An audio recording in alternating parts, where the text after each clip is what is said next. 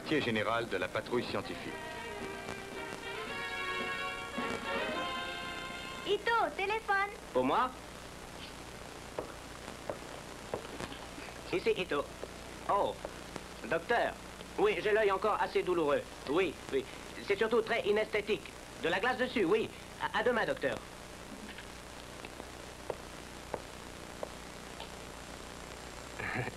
Vous avez vu l'œil que j'ai. Je savais que vous l'auriez remarqué. Je reste quand même beau garçon, hein J'aime mieux te dire que nous te trouvons tous affreux. Hein? Je vais vous dire où j'ai eu cet œil poché. Vous ne le raconterez à personne, d'accord? Il faut que ça demeure secret entre vous et moi. Ça a commencé exactement la nuit dernière, aux environs de minuit. Et maintenant, écoutez-moi bien, je vais tout vous dire. Hmm? La nuit était tombée sur la ville. Une nuit calme et douce, d'une température agréable. Au quartier général de la patrouille, tout le monde dormait. Un seul n'arrivait pas à trouver le sommeil, moi. Inlassablement, je comptais les moutons. Impossible de faire sauter la barrière à mon 9180e mouton. Saute, mouton, qu'est-ce que c'est que cette comédie? Je veux dormir, je suis fatigué, qu'est-ce que tu attends pour sauter? C'est de la mauvaise volonté, tu vois bien qu'elle n'est pas haute, cette barrière.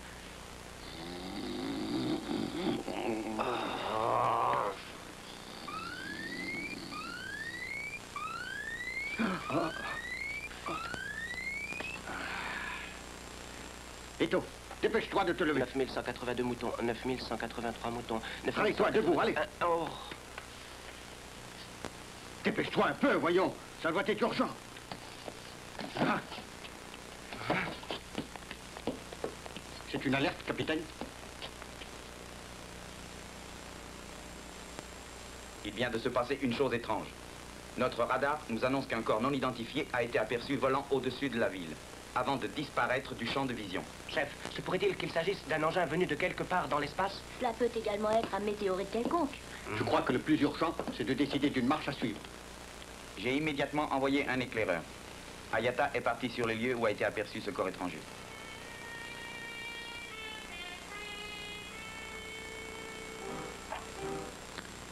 Capitaine, ici Ayata. On a repéré le corps étranger à 33 degrés, 19 minutes latitude nord-est, 139 degrés, 6 minutes longitude est. Dans quelques minutes, le calculateur donnera plus ample détail.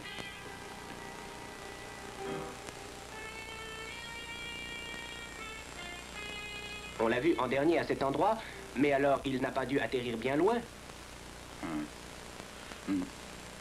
Un rapport arrive à l'instant, capitaine.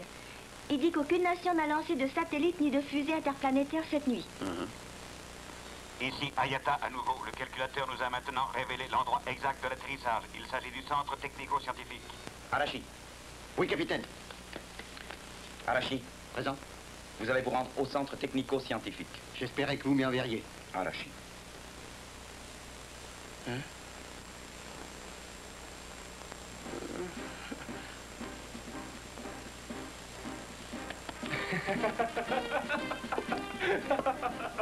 part pas en mission en pantoufles. Veuillez vous chausser.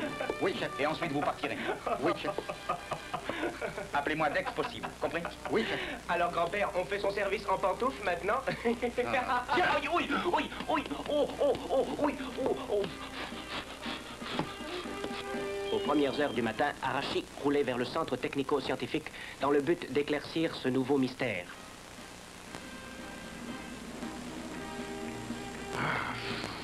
C'est pas chaud. Arashi Arashi Hein? Continue de regarder devant toi et de tenir ton volant. Bonjour Oshino, qu'est-ce que tu fais là? J'ai ordre de me rendre au centre technico-scientifique, mais je ne suis pas censé te prendre avec moi. Oh, je sais, mais moi, je me suis donné l'ordre de te suivre. Alors me voilà. Ah, Oshino, tu exagères. Je resterai très tranquille. Mais tu ignores ce qui t'attend quand tu vas arriver au centre. Et au cas où tu aurais des difficultés, je serai là. Tu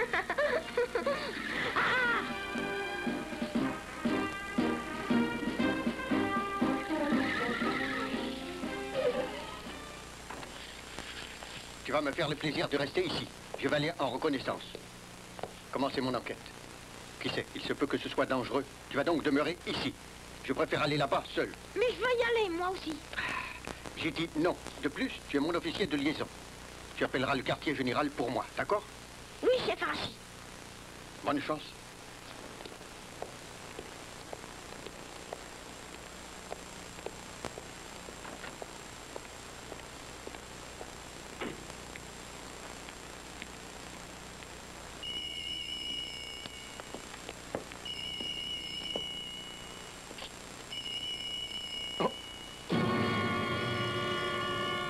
Monsieur, qu'est-ce qu'il y a Vous?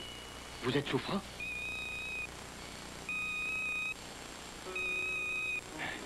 Oshino, avertis tout de suite le quartier qu'ici, il se passe quelque chose d'anormal. Je vais avoir besoin d'aide.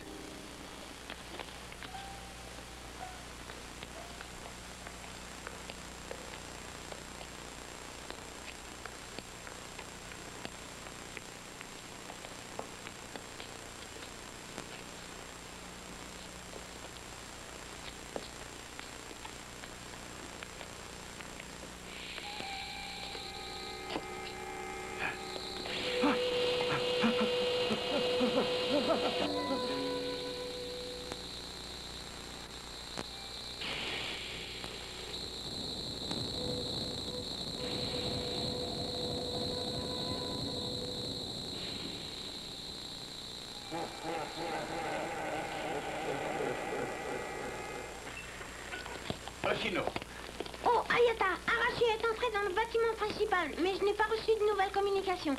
Par contre, ma soeur m'appelle tout le temps par radio. Oshino, tu as d'autres nouvelles d'Arashi Réponds, Oshino. Elle envoie des appels tout le temps. Toutes les minutes, il faut que je la tienne au courant. Pour qui est-ce qu'elle me prend, ma soeur Pour le speaker d'une course de chevaux? Fais ton travail. Allô, ici Oshino. Je viens de parler à Ayata à la seconde. Pour l'instant, il se dirige vers le laboratoire principal. Il est à 18 mètres environ de l'entrée. À présent, ça ne fait plus que 16 mètres. Maintenant, ça fait plus que 15 mètres. Ça suffit, je n'ai que faire d'un speaker de course de chevaux.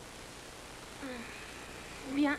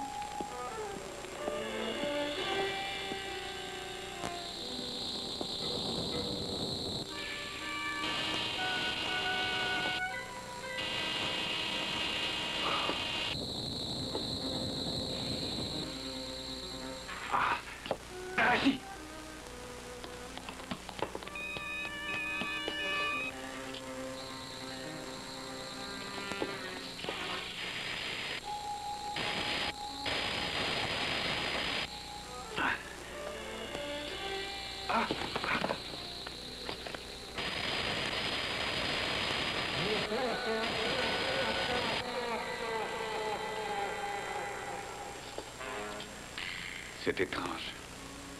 Je ne sais pas qui sont ces créatures. Oshino, c'est très dangereux ici. Pour l'instant, il vaut mieux que je batte en retraite. Le Conseil de la Défense et de la Sécurité, réuni en séance extraordinaire, étudia sans tarder le danger que ces êtres étranges et inconnus représentaient pour le monde. Capitaine Moura, avez-vous une idée, vous-même ou les membres de votre patrouille? Non, aucune. Pas pour l'instant, du moins. C'est-à-dire, Allez jusqu'au bout de votre pensée. Si vous avez une théorie, exposez-la nous. voilà. Non, rien. Capitaine, je vous somme de parler. Nous pourrions peut-être tenter d'entrer en conversation avec eux. L'heure n'est pas aux plaisanteries. L'affaire est extrêmement grave. Vous avez vraiment l'intention de leur parler? C'est, je pense, la seule solution. Ils se servent d'armes extrêmement dangereuses, comme nul n'en a encore jamais vu sur la Terre. Le seul moyen est peut-être d'attaquer le vaisseau spatial qu'ils ont emprunté pour venir. Oui, excellente idée. La plus sensée, sans aucun doute. Nous sommes donc tous bien d'accord à ce sujet, n'est-ce pas? Je suggère que l'on emploie les toutes dernières armes nucléaires. Êtes-vous certain qu'elles atteindront le but que vous cherchez? Supposez que l'engin ne se laisse pas détruire. Qu'adviendra-t-il? Nous serons à leur merci. Nos armes sont Nous ne tenons pas à échouer.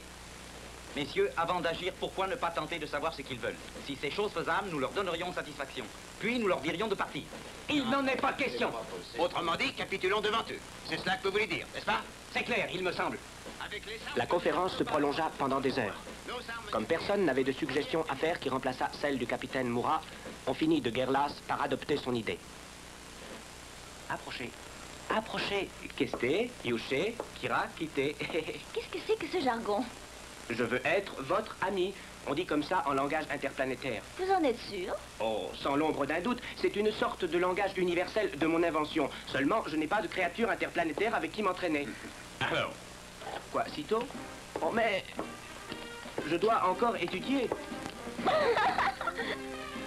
Me voilà donc parti avec Ayata pour le centre technico-scientifique dans le but d'entrer en conversation avec les êtres venus de l'espace. Entre-temps, le monde entier était en alerte par crainte des envahisseurs.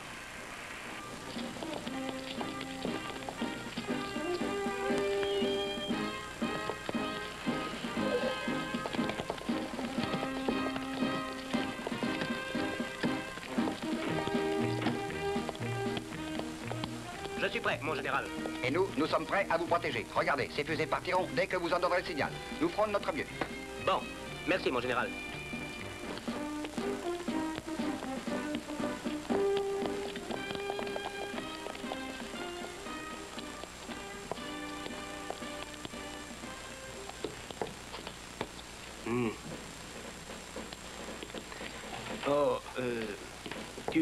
Absolument certain qu'il est bien chargé Bien sûr, voyons. Alors ça va.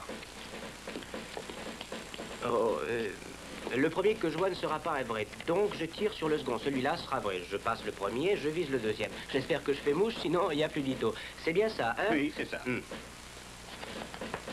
Ah, dis, j'y pense. C'est pour parler, j'ai des difficultés. Tu viendras à mon secours, hein? Commence par faire un essai pour voir ce que ça donne. je crois que j'ai attrapé une laryngite. Je n'ai plus de voix. Je ne vais rien pouvoir dire. Ah.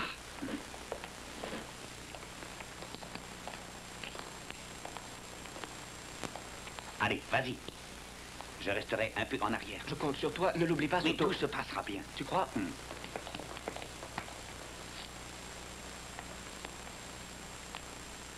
Tout dépend de moi à présent. Hmm, Je, je n'ai pas peur. Enfin, pas beaucoup. Oh, oh. Ah.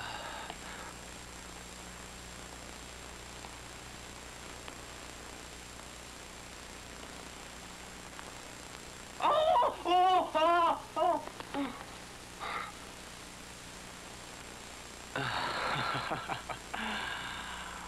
Ah, j'adore me jouer des farces.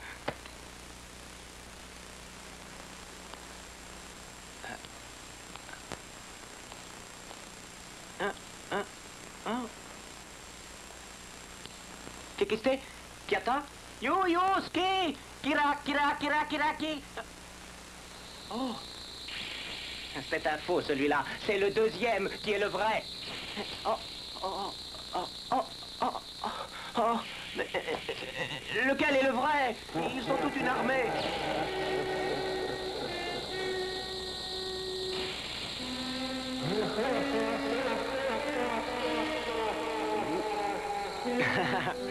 oh, Kiki, ko, ko, ko, como, como, ah, Kiko, Kiko, Coco, como, como, ah, ah.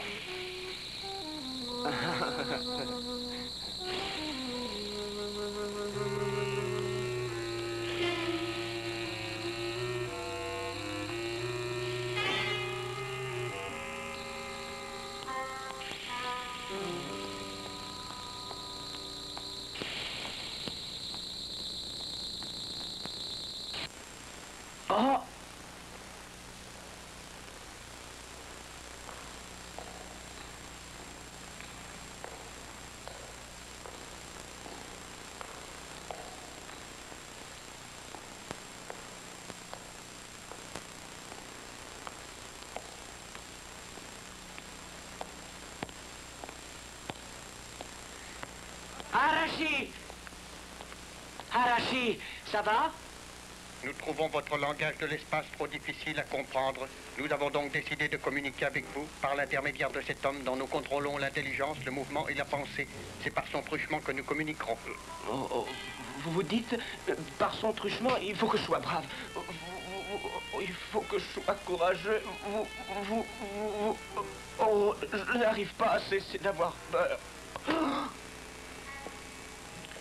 Dites-moi, créature de l'espace, qu'êtes-vous venu faire sur la Terre Pendant un de nos voyages interplanétaires pas le temps, notre planète natale fut détruite par des explosions nucléaires provoquées par un groupe de savants fous venus de la quatrième galaxie. Notre planète mère n'existait plus. Alors nous nous sommes mis en quête d'une autre où nous pourrions nous établir. Comme nous passions au-dessus de la Terre, connue de nous sous le nom de M240, nos stabilisateurs se déréglèrent. et force nous fut de nous poser sur votre sol et de les réparer avant de poursuivre notre voyage. C'est ce que nous fîmes sur l'heure. Et dites-moi une question. Pourquoi avoir choisi ce lieu précis? Votre centre technique possède les pièces nécessaires pour réparer notre vaisseau spatial et poursuivre le voyage. J'ai encore une autre question. Vous avez pétrifié tous ceux qui se trouvaient sur votre chemin. Pourquoi? Vous venez vous-même de fournir la raison, parce qu'ils étaient sur notre chemin.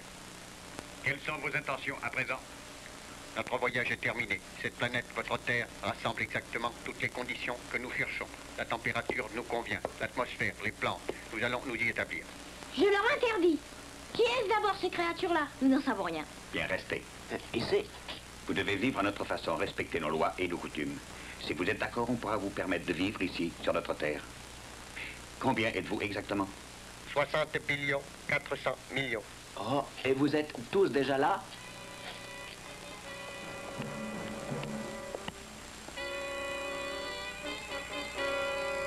Nous avons la taille de bactéries invisibles à l'œil nu de l'être terrestre. Nous pouvons, mes semblables et moi, dormir et travailler à l'intérieur du vaisseau invisible qui nous a transportés. Un seul de nous est suffisamment gros pour vous être perceptible. C'est insensé cette idée de rester sur la Terre. Déjà que le genre humain compte 4 billions d'individus, c'est déjà beaucoup trop. Pourquoi n'allez-vous pas vivre sur Mars Hmm Aucun de nous n'aime la planète Mars. D'ailleurs, il ne nous est pas possible à aucun prix de vivre sur cette planète. Pour quelle raison? Dites-le nous, allons Je ne peux pas vous le révéler. Vous étiez sur le point de le dire. Oh, dites, vous ne pouvez pas nous laisser quand même dans l'ignorance. J'ai déjà parlé beaucoup trop. Maintenant, nous allons conquérir votre monde et nous en emparer. Nous serons vos maîtres absolus. Ah, Arashi, Arashi, qu'est-ce qu'il y a?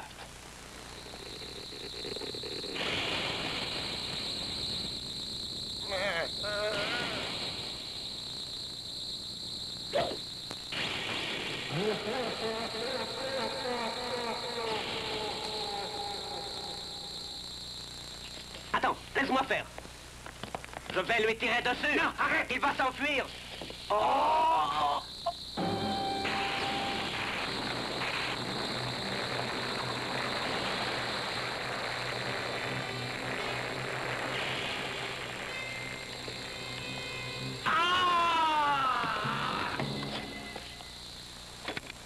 Passez à l'attaque.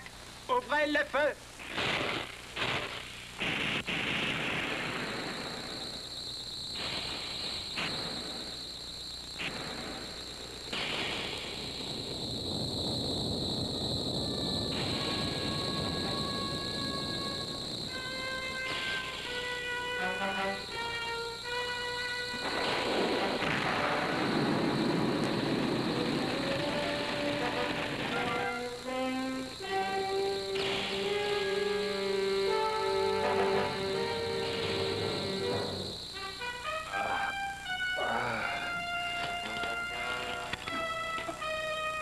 La capsule.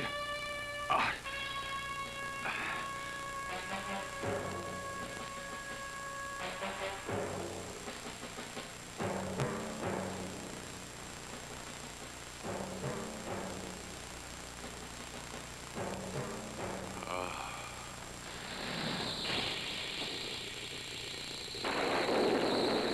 Capitaine, n'existait-il aucun moyen de lutter? Si, le spatium sans doute, Le spatium? Qui se trouve sur Mars et nulle part ailleurs. Et nous ne pouvons pas en avoir sur Terre, n'est-ce pas Hmm. Lui saurait les combattre. Lui À qui faites-vous allusion Ah Hayata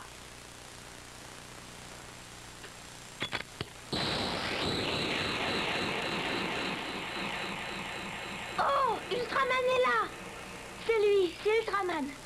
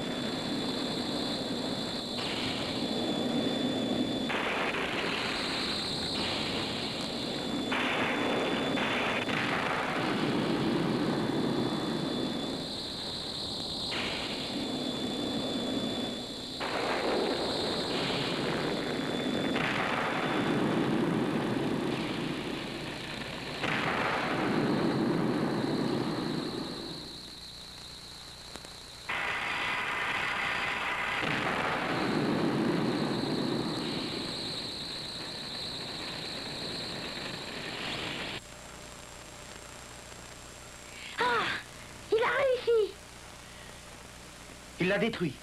Le spatium aurait été inutile en fin de compte.